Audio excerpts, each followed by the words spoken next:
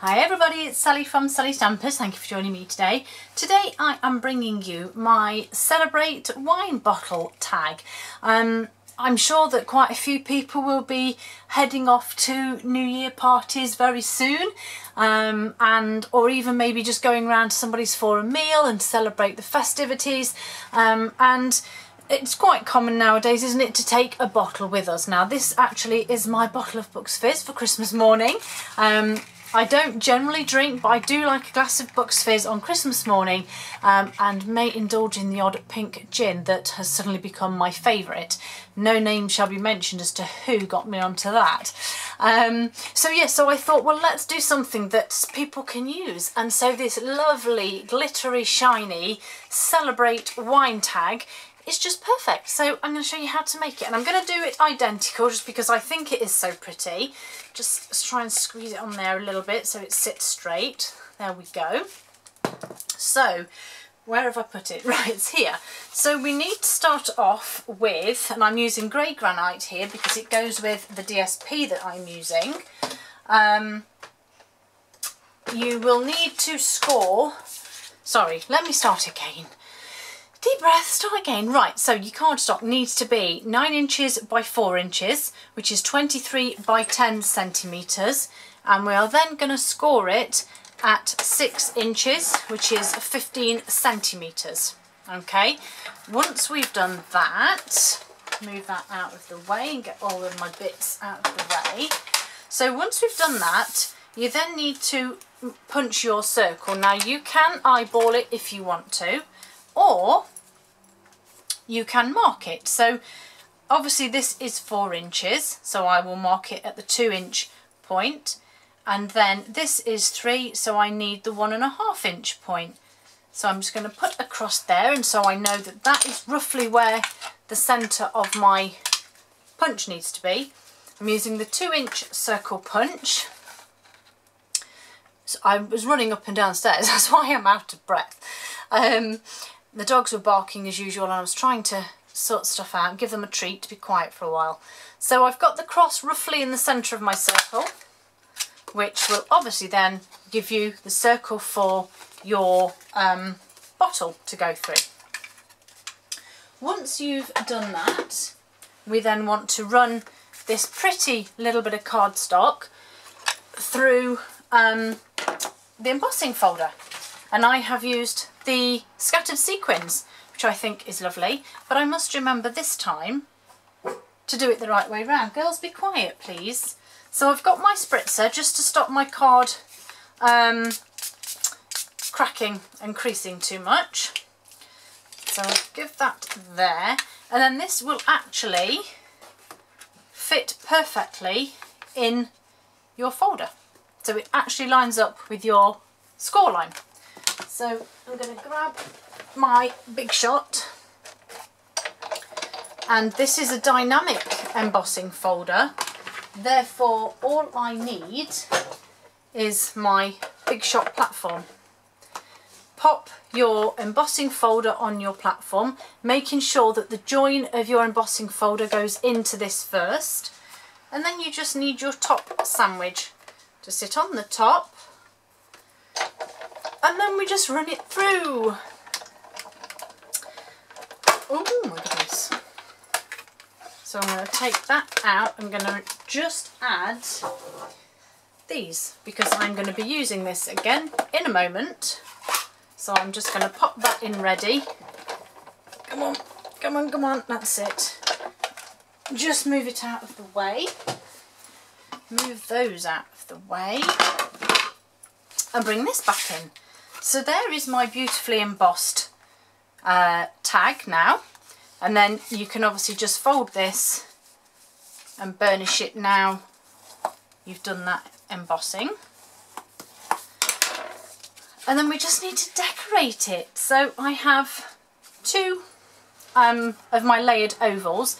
This is the gorgeous Broadway bound DSP and then another oval of the grey granite uh, cardstock.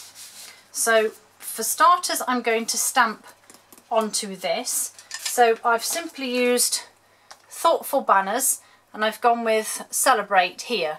Now obviously if you wanted to change it you could use congrats or thank you, anything but as I say I was going with the idea of New Year so I thought celebrate would be ideal for this.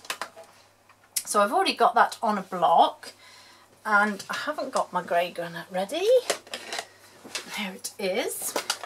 And so I'm simply just random stamping.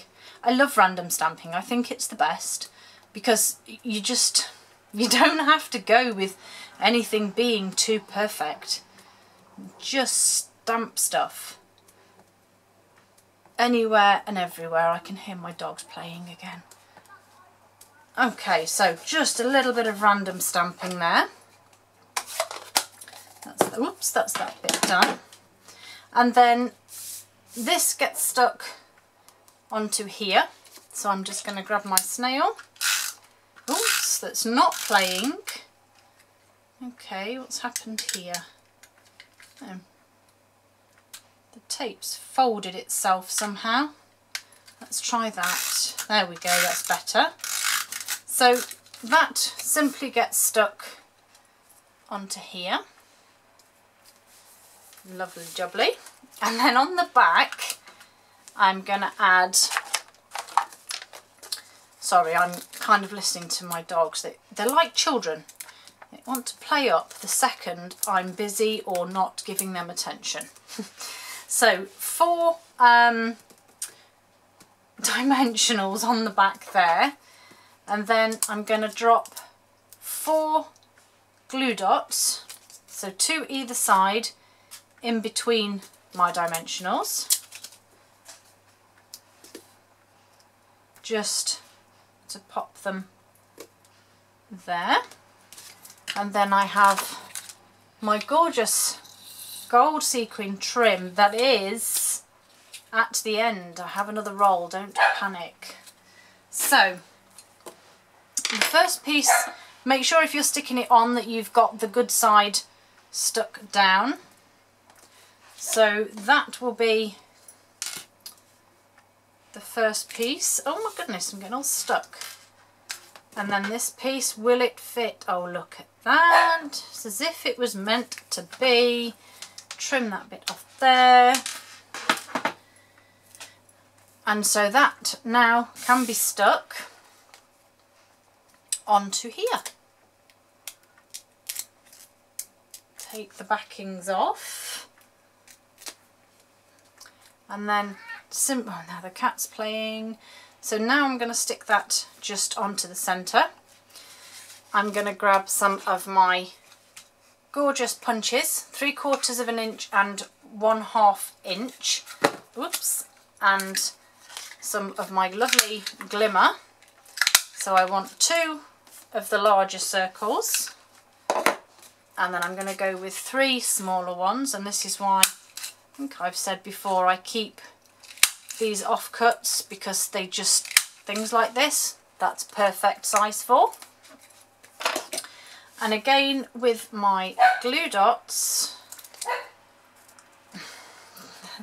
I'm just going to stick them onto the sequin the glimmer paper.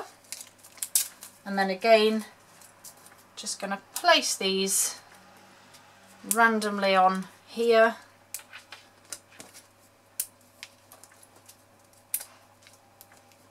just to add they weren't meant to be in four corners but that's how they've ended up and then some gold some of the gold metallic pearls that again I've just added just here and there because it's New Year and we need to add some bling.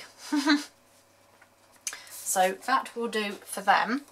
And then the last piece we need to do is the celebrate word, which I've used the Celebrate You thinlits. So we've got the celebrate. So I'm going to pop that to one side. Now you can use these um, amazing multi-purpose adhesive sheets um, you take the backing off, stick your card onto it and then you run it through the Big Shot and then you just take the backing off and you have um, your perfect uh, die cut that has the adhesive already on the back. Now, I'm not going to use those. And the reason being, if I come back to my original one, let's take it off, the C and the E don't actually stick to the card. And so I thought if I do that, it's just going to be sticky and then it'll end up sticking in the wrong place and just getting in a mess. So I decided to go with using the fine tip glue pen, which is what I used on that one and works perfectly. So I've run that through with my um, precision base plate. I always forget the name of that, it's very annoying. I think it's because it's oops because it's upside down. I don't think that it will be. I don't see the name. Does that make sense? Okay, so this, as you can see, just pretty much comes out straight away anyway, and then you can just take it out of the bit you've cut, and then I just have a couple of little bits here that I need to just pop out. And so there is my gorgeous die cut. Bring back my tag and then I'm just grabbing my fine tip glue pen which as I said I will now adhere from the E. And I'm only doing the long sweeps. I'm not doing every single part all the way to the T.